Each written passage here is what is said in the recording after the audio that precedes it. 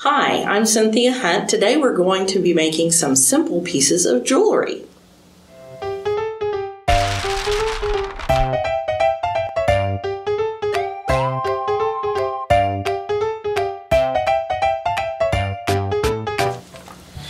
Jewelry is fun to wear and it's fun to make. It's affordable and fast the way we're doing it ourselves. We're going to start out with a simple beaded earring. So this is a very simple project. The first thing you need is a roughly two inch head bead, an inch long bead, and what I'm going to do, head beads are called head because they have a blob at one end that keeps beads from sliding off the end of it. So what I'm going to do, because there's a pretty little bead at the end of the fishhook finding, is I'm going to match that by putting if I can find the hole.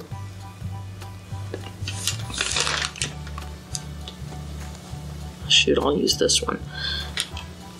Is putting a bead on top of that other bead and then running this through that. See how it looks a little bit prettier? And then I'm going to put this other bead, the bead without a hole. Sounds like a weird Agatha Christie story. I know it has a hole in it. There it is. These lights, it makes it hard to see. Okay, so then I put another one on there. And what I'm going to do next is I'm going to get my chain nose pliers and I'm going to grip it so that it is about an eighth, takes up about an eighth of an inch of the wire. And then I'm going to fold the wire at a 90 degree angle. Then I'm going to get my round nose pliers and I'm going to put that above and below that bend in the wire and I'm going to bring it over almost all the way. Not all the way, but almost all the way. Then I'm going to get my earring finding and put it on there and I'm going to put my bottom part of my round nose plier up at the top instead of at the bottom. And I'm going to bring this wire down and at again at about a 90 degree angle and I'm going to using my fingers and if it gets starts getting difficult, I'll get my pliers. I'm going to wrap it around to make it kind of match the wraps on the fishhook earring finder. And it's not, I know why they call it a fishhook earring finding, but it's because they have a little bit of wrap around here and they have these little snaffle things when you're fishing that clip on you clip your hooks onto it you clip your lures onto it and that's why they call it a fishhook earring setting or finding. For some reason they call them all findings. Don't really know why. But we'll go on ahead. Whoop. And just keep winding until we're just about to the end. Hopefully you can get two or three different winds around the base of this hoop. And then we'll move it in real close and using our cutters we will cut very, very, very close, being careful not to cut the end. Uh, well, we're going to cut the end, but we're not going to cut the head pin off of the bead. And to do that, you're going to need to use the part that is smooth against the wire cutter, not the part that has a real big valley, or you won't be able to get very close. So you cut the very tip,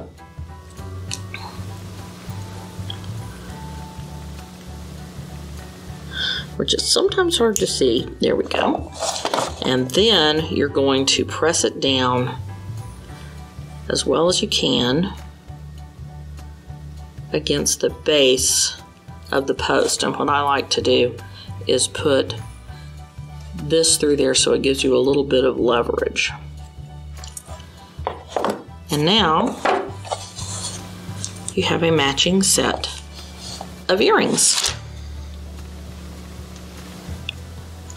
So now you've learned how to make a very simple beaded earring. Now we're going to go one step up and make these dangle earrings that I made to go with this necklace. They're made out of paper beads. I'll be using a paper bead, but you don't have to unless you just want to.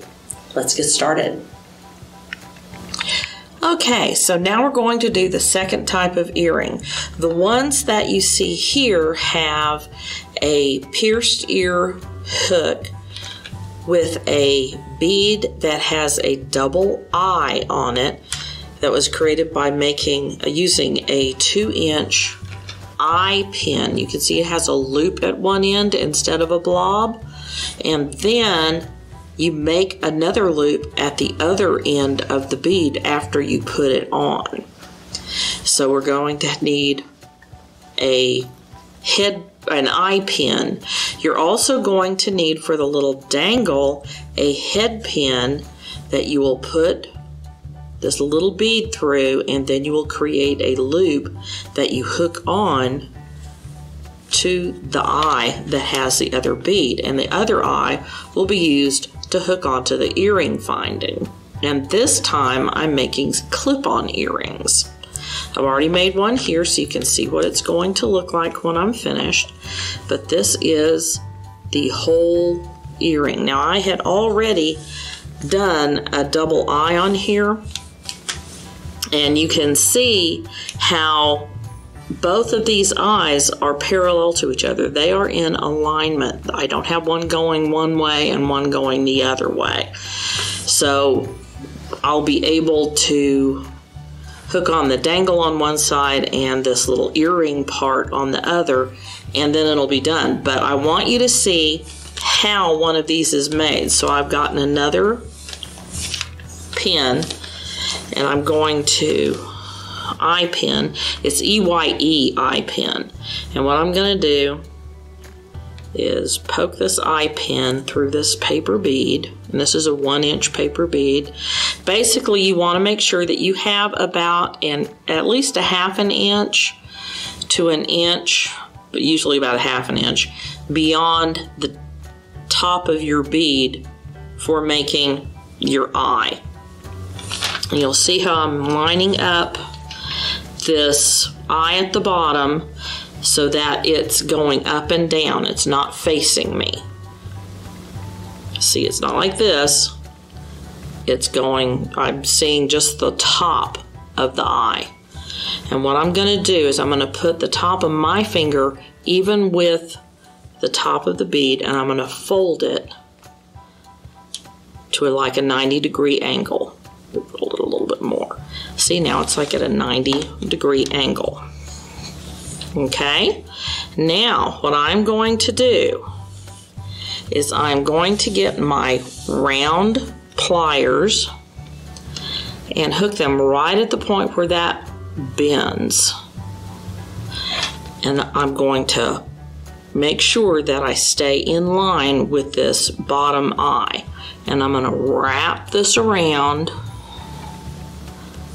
until it's almost done. And then I'm going to put my things down and I'm going to clip with my wire cutters and always wear some kind of safety stuff. I have glass reading glasses on, so I'm not worried about it. But I don't want you to get your eye poked out. It's like that Christmas story movie. You shoot your eye out, kid. So what you'll do is get your round pliers again, and you're going to pull this forward and curl it around this part on the inside of the plier until it touches the part of the the shaft of this bead. And there I now have two eyes. And you can see that they're both showing or they're both just showing the edge. But they're in alignment and that's going to be important whenever we make the necklace later. But I'm going to get back to the one that I had because it matches this other one better. Now, I've got this, I've got my finding. Now I'm going to take this head pin and put this little silver bead through it. And I'm going to get my long nose pliers or chain lock pliers, which a lot of them call them. And I'm going to hold on to the bead with that pliers. If I'm using a paper bead, I'm not going to use this, but I've got enough uh, strength and I'm going to go on ahead to have the leverage. Have enough strength in the bead that it won't be damaged by my doing that. And again, I push it off to the side so it makes an angle. And then I'm going to do the same thing with this. I'm going to pull it across, but because there isn't an eye on the other end, I don't have to care what order it's in. So I go almost all the way. And then what I'm going to do is hook this eye, this eye of the long bead onto here and I'm going to cut this part of the bead.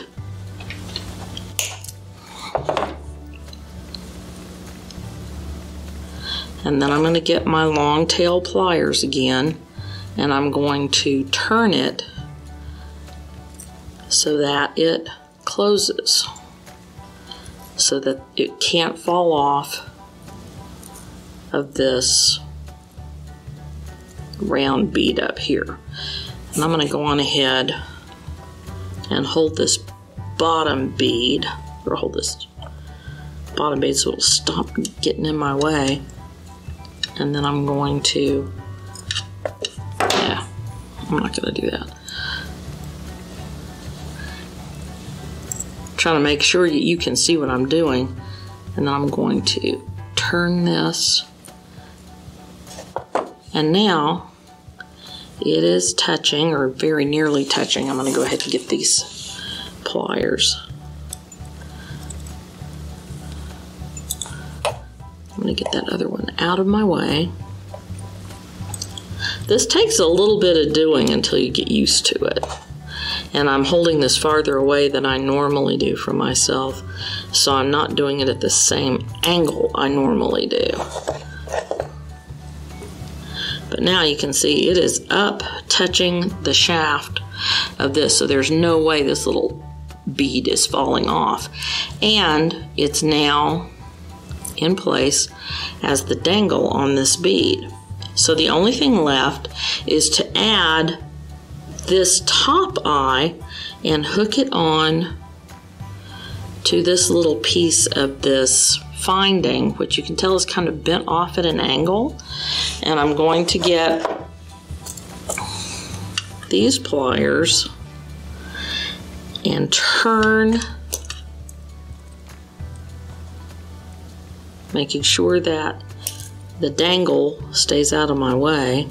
I'm going to put it on this one.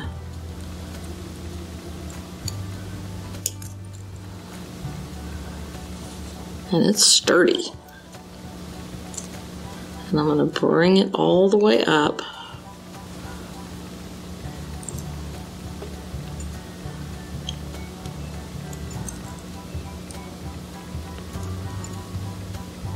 to where the top part of the finding and the top part of that. And they very cleverly put the connection on the very top of this, so there's no chance of it just falling off.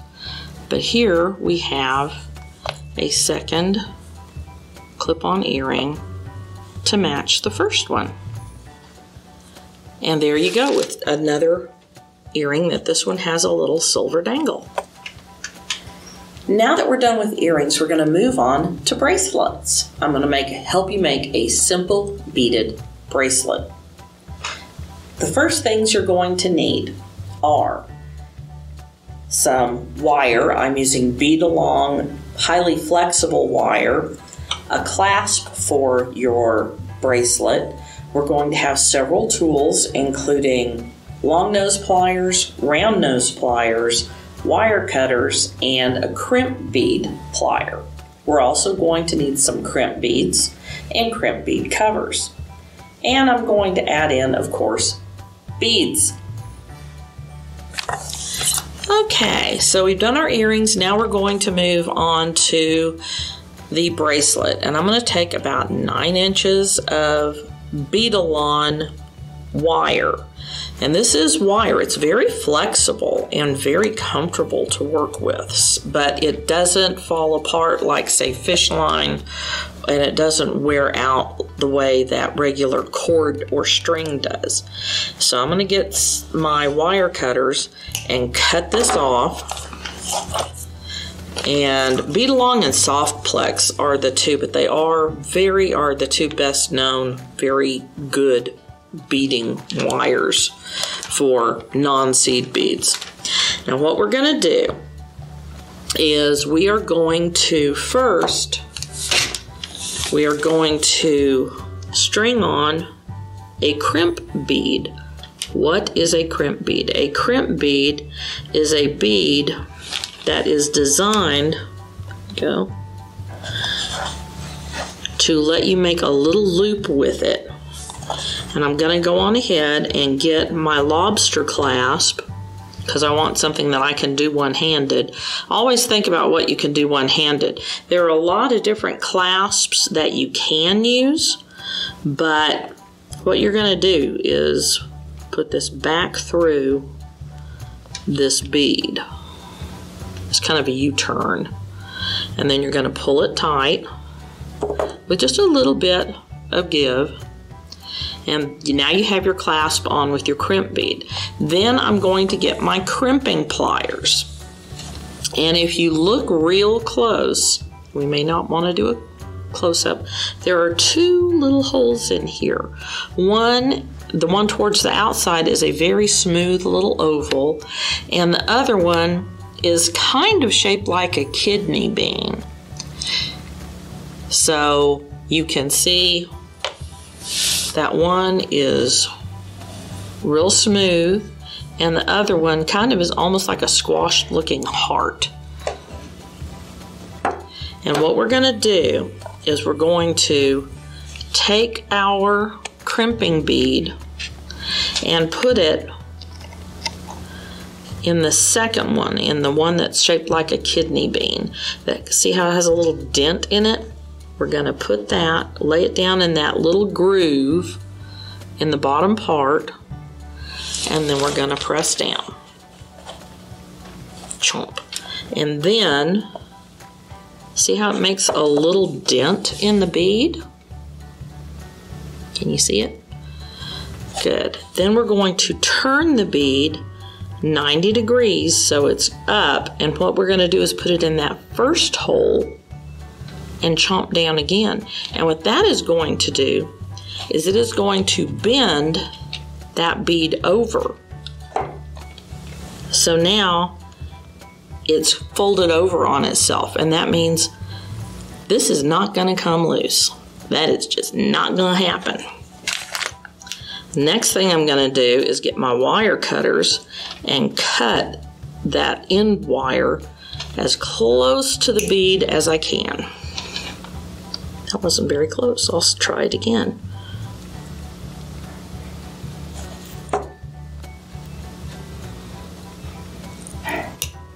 There we go, that's better.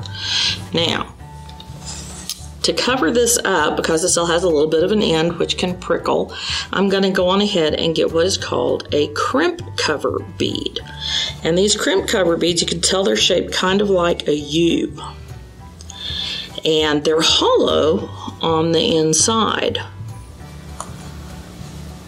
so that you can put, let me see if I can get some pliers so you can see it a little bit better. There we go. But they're hollow on the inside so that you can fit your crimp bead down in there and then hold it into place once it's in and then you can fold this over gently until the edges of that crimp cover touch and now it just looks like a nice smooth bead. And that is how you get the clasp onto your wire. Now, we're done with that. We'll move on to the next step. Now for the fun part, stringing the beads. So what I'm doing here is I'm using, I'm alternating quarter inch paper beads that have been hand rolled with what are called spacer beads. So I have a quarter inch paper bead on here and now I'm going to get a spacer bead, I can find the hole. These lights are hard to work with. Oh, there it is. And the good thing about this Beadalon wire is that you don't need a needle. You can just use it just like this and then get it in the hole of the paper bead. If I can find the hole.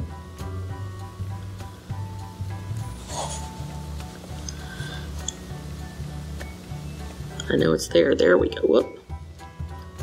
Takes a little patience.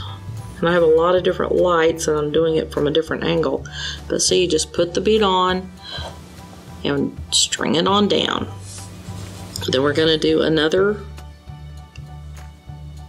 spacer bead and these are basically called spacer beads just because they create a little bit of space in between the beads and it also does a great job of dressing it up a little bit. If these were just all paper beads, it would look okay, but with these little spacer beads, it gives it a little bit of pop. And you will see a lot of times that they will go on ahead and just kind of give it a finished look. It makes it look a little bit more professional. And make sure that your spacer beads they come in these i'm just using plain round shiny spacer beads but they come in all different kinds of shapes and sizes. And i tried several others just to set them next to these and they were just way too big. They kind of overpowered my paper beads and i did not want to do that. So go on ahead until you've got about seven or eight inches. See how much slack you want in it, and then give yourself about an additional half inch. Well, yeah, about a half an inch so that it'll be comfortable on your wrist. If you're making this for somebody else, you may need to see how what size bracelets they generally wear and what length they are. If you're giving it as a little surprise gift, measure a bracelet that they wear a lot to make sure you get a size they'll enjoy wearing. So now we'll move on to our next step. Having added our beads to our bracelet, we're almost finished. There's only one thing left, adding the clasp. Okay, so we already put on the lobster clasp at the beginning of our string of beads, and then we had the crimp bead, and then we put on our beads. Now, I wanted to finish out with a paper bead so that I don't have a silver spacer bead followed by a crimp bead. I want them to look silver, paper, silver, paper, silver, paper all the way along. So it'll look kind of more like it does at the beginning of the lobster clasp. So what I'm going to do is the same thing I did when I was putting on the lobster clasp, except this time I'm going to put on the crimp ring. Then I'm going to put on a jump ring and this is just a little silver ring and I like to make the colors all match and make sure that your jump ring winds up on the right side of your crimp bead. You don't want it, you want it to be hooked inside the crimp bead. You don't want it in the side, this little loop. You don't want it to be on this side, you want it to be on this side. So I'm going to move this crimp bead down just a little bit. Not a whole lot because I'm going to have to be able to cut it. And so I've got a nice comfortable loop about the same size as I have on the other side where I have the clasp. I'm going to move it down just a little bit towards the beads.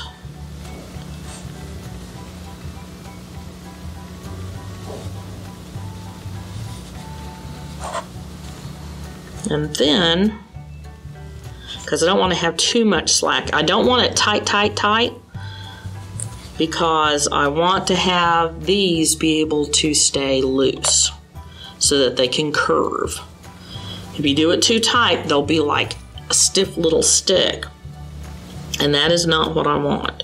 So I'm going to get my crimper bead again, my crimper pliers. And I'm going to leave a little bit of room because we're going to have that crimping bead, which is kind of big. And put it again in that second from the end kidney bean shaped thing and put it right into that little valley and crimp. Eh, you can feel it. Then turn it 90 degrees and put it in that first one, in that little valley for the first one, and crimp it there so it folds it over. And now that sucker's not going anywhere. So I'm going to get my wire cutters and cut nice and close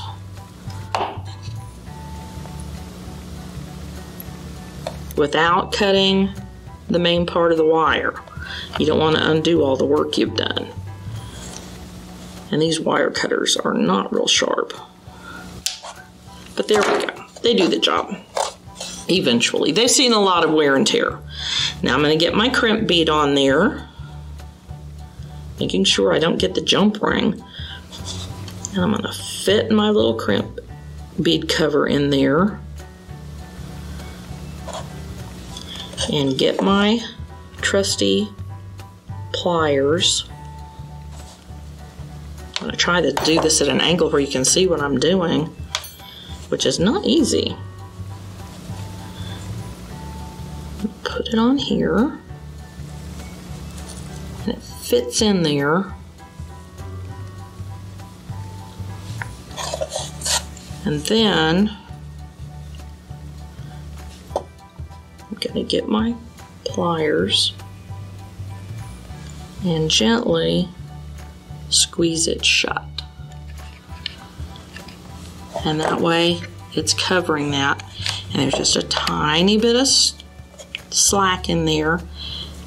And now, whenever I put this on, I'll have this jump ring, which gives me a nice ring to put on my lobster clasp. And I've got a finished bracelet.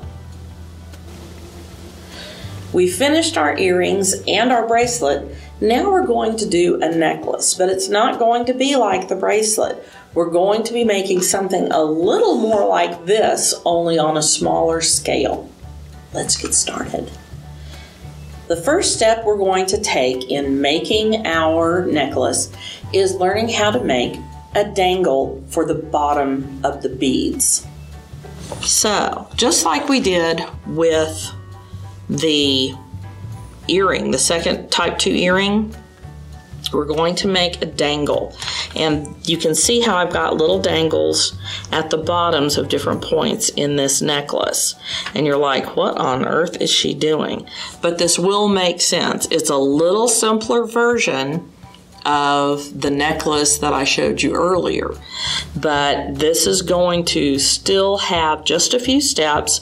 And the first step we're going to have is we're going to make this dangle. So I'm going to get my pliers on here at a diagonal so I can push away from myself and make that little right angle just like we did with the second earring. And then I'm going to get my round pliers and put them as close into that bend as I can and then bring that toward me. Now,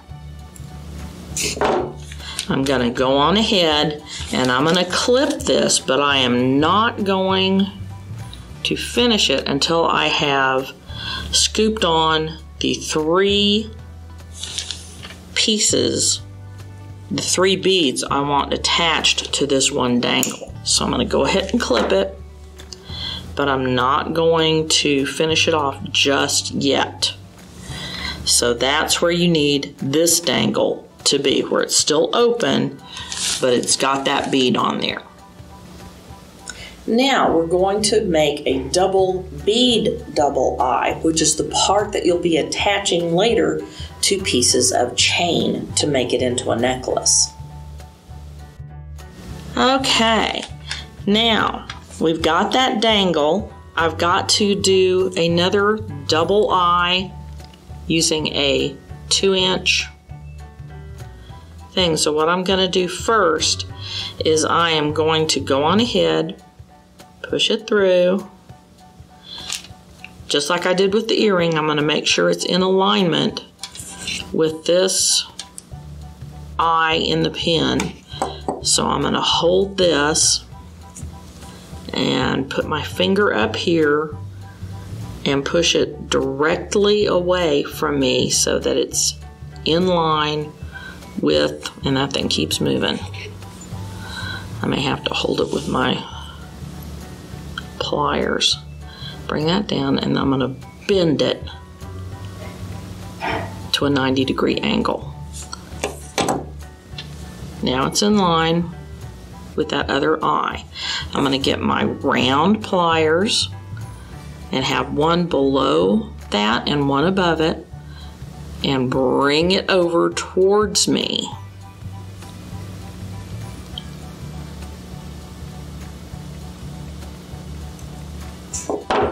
Then I'm going to trim it a little bit smaller with my wire cutters and then move, curve that eye all the way around So it is on this bead along with the other one. They're a little bit turned because the holes in these are a little bit bigger.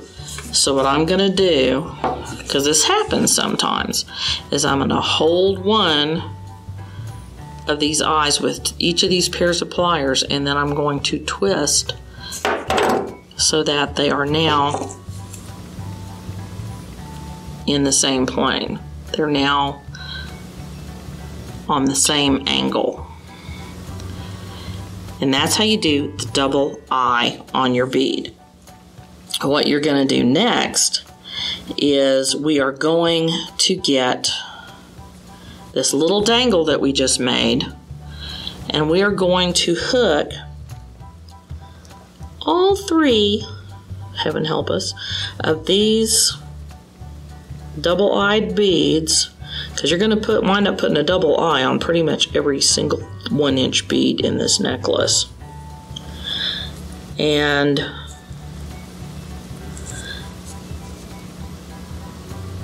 got one there and don't be afraid to just pick them up if you need to and there's one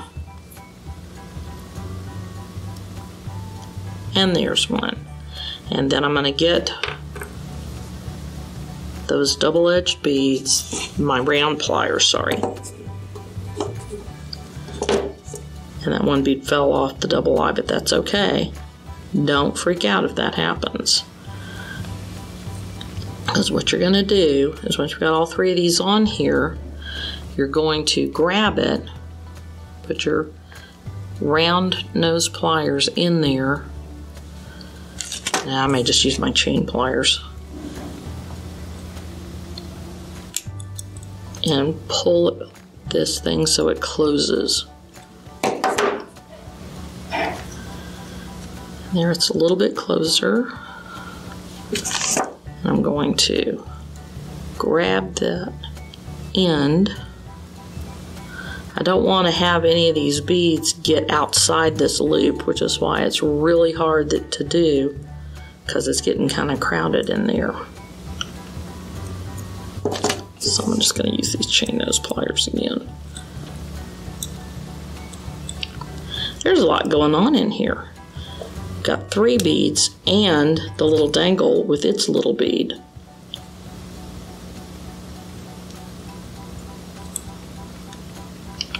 There we go. And now we have all three of these are on there. And I say all three, but this one bead fell off its double eye. So there it is. So you have three beads that are all together on this one double eye, which is what we needed to have happen. And the next thing we are going to do is do another double eye. And you're like, yet another double eye. So what we're going to do is I'm going to flip these so that they're going in the right direction. Which isn't always easy, believe it or not. I've got this one coming down the middle. Then I've got this one across the bottom. Then I've got this one coming up there because it's going to go in there with those. And then I've got this one that's going to go up like this one is. And I know it doesn't make a lot of sense right now. It will in a minute. I promise. So, we got this one, got this one. Now I'm going to make this one that goes across. And what I'm going to do is I'm going to put this I have a spacer bead that I only had two of. I have one on each end that's going out to the chain. And I'm hooking this one onto that between the spacer bead and the one inch bead. And what I'm going to do now is what I've done with the others. I'm going to line it up and then bend it away. And then I'm going to get my round nose pliers, bring it over almost all the way, and then I'm going to clip it. And I'm going to put my round nose pliers in there again and turn it until that little loop is completed. And the good thing about working with this big a size bead is that it can handle a little bit of work. And again, it's kind of cattywampus. So I'm going to hold these. And now I've turned it. And it's all on the same plane. And the reason it needs to be on the same plane is because the next thing we're going to do is add a jump ring.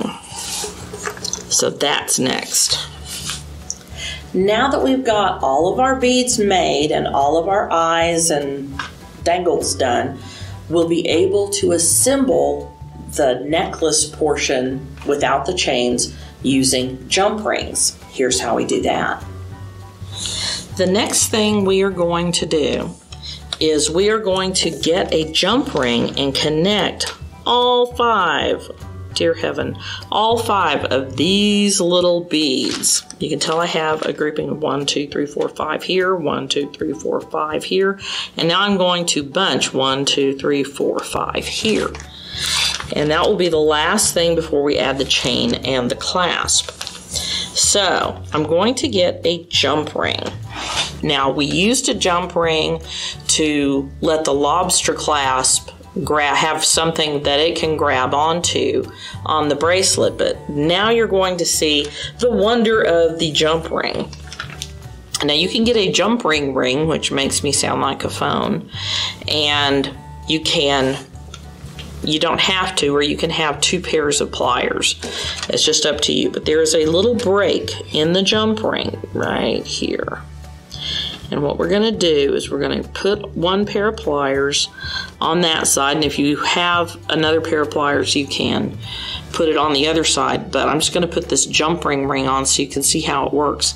And instead of pulling them apart like you would a binder ring on a notebook, what you're going to do is you're going to twist them in opposite directions. See? And that's what happens. You open it up and then you can put things onto it. So I've arranged my beads in the order that I need them to go in. She says, messing up the order that they need to go in. And what I'm going to do is I'm going to start with one and put them on in the order that they need to be in order to be happy dancing little beads. Three. I'm going to scoot that ring a little bit farther away. Right now my thumb's stuck in it. okay, so I've got three on there and I've got two more to go. And one just came off. That happens, don't worry.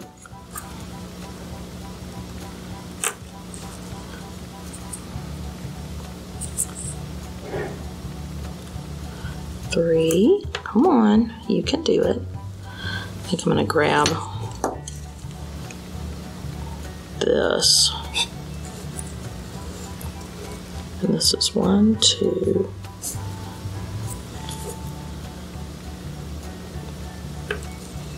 It's like, is that going up or down? I think it's going down. So I'm going to give this another try. And this happens. And sometimes I have, with the other necklace that I showed you earlier, I would have just about all of them on there and then one would be twisted and I would have to take it off, undo its little eye and refix it. So we are going to do this.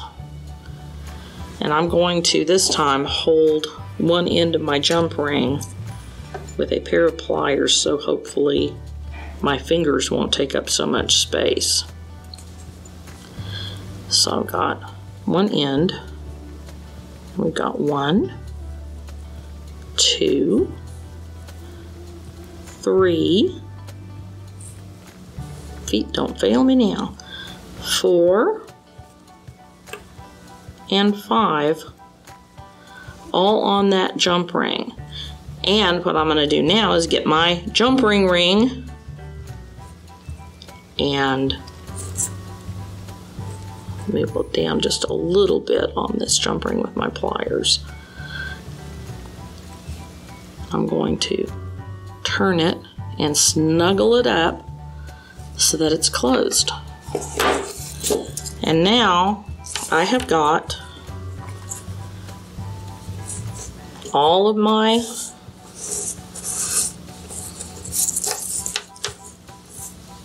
things on there and of course one came off. So that happens. Again, don't freak out. These things just happen. So what I'm going to do is figure out which way that goes and it goes right in there. And what I'm going to do is I'm going to open it just a little bit with my round pliers.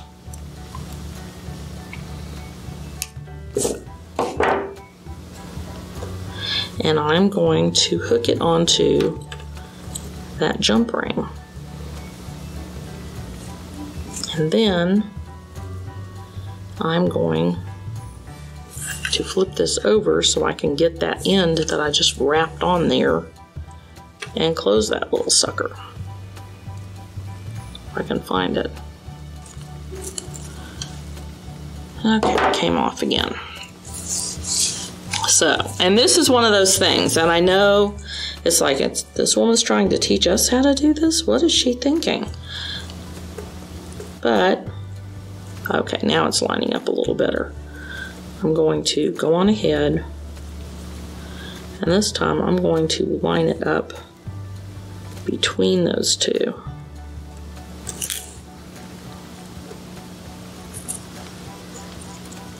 And then get my pliers and curve it back in. So, hope that didn't hurt your ears when I went blump. So, there we go. We now have, it takes a minute to get it straightened out. We've got two end pieces that are going to go to our chain. We've got one, two, three, four, five, six, seven, eight dangles. I added a, a spacer bead onto the eye bead before I did the center one and then added a dangle so it gives it just a little extra length. And then we've got three jump rings and we've got 1, 2, 3, 4, 5, 6, 7, 8, 9, 10, 11, 12, 13, 14, 15, 16, 17 paper beads. And what we're going to do now is we're going to add our chain. Okay, the basic part of your necklace is now done, but we still need to add the chain. So now what we're going to do is get a length of chain and I'm going to cut something because I like to use something where on a necklace I can vary the length of it. So because I want this up fairly high, I'm going to cut about 16 inches of chain. That way, if I want to make it a little shorter, I can make it a little shorter. And if I want to make it a little longer, I can make it a little longer. But what I'm going to do is cut into one of these links of this chain.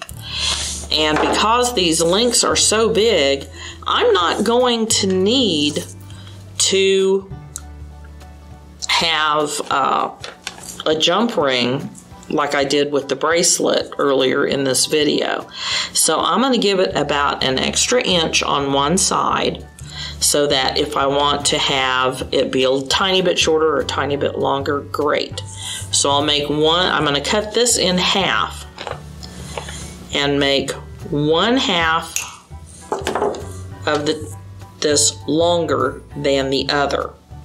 And I'm going to think now, okay, this is going to be, if I were wearing it, this would be the back side of the necklace. It would be the part that would be facing me when I put it on. And I like to have the clasp, since I'm right-handed, on my right, so I can hold it with my right hand. So what I'm going to do is have the longer piece be on the left and the shorter piece be on the right. And now I'm going to get two more jump rings just like the ones I used to hold these beads together. And I'm going to get my jump ring ring. Keep wanting to go ring ring. And grab one of these jump rings and find the little join, and there's the join. And I'm going to grab this with one side and twist with the other. And then I'm going to put it through the chain on one end, the last link in the chain. And then I'm going to put it through the eye next to that little bead spacer bead, the round one. And then I'm going to put my jump ring back in that hole. Whoops, don't know my own strength. And turn it. I'm to get another pair of pliers. Because that jump ring has like one groove in it that's too small and then one groove, groove in it that's really big. But see how nice and close that is now? So that is already on there. I'm going to get my other jumper ring, jump ring. It's not a jumper ring, it's not a British turtleneck. And I'm going to put one pair of pliers on one side, one pair of pliers on the other side, twist, a little bit more, twist. Then I'm going to put the chain, the last link of chain on my chain, and this little eye from my eye pin. And then I'm going to turn them towards each other.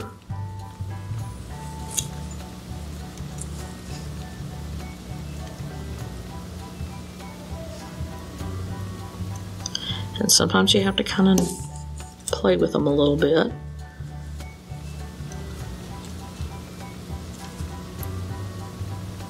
There. Now they are nice and snug to each other and we have our chain on. So the next thing we're going to do is we're going to add our clasp and because we only have to add it to one side so that it can go wherever on here I want it to. I'm going to go on ahead and get a little lobster clasp. And I don't have to have a jump ring on the other side. If you want to, you can, but you don't have to. But for the lobster clasp, the clasp itself, you're going to need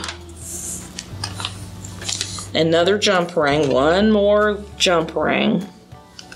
And jump rings are just fun.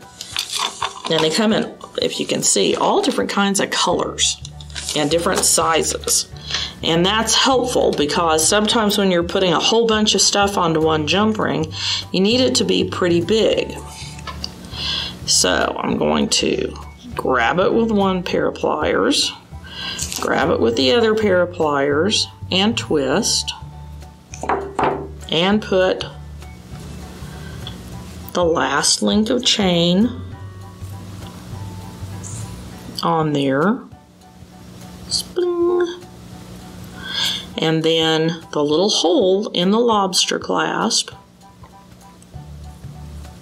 Spling, and it's on there. It's that fast and easy. And then I will close this little jump ring. And it's right up to each other. You can barely tell there was ever any kind of parting of the ways there. So now I can go on ahead and put the clasp wherever I want to on here so it can go with different outfits and have different neckline lengths. And here's what it's going to look like. Put it right side up again. Okay.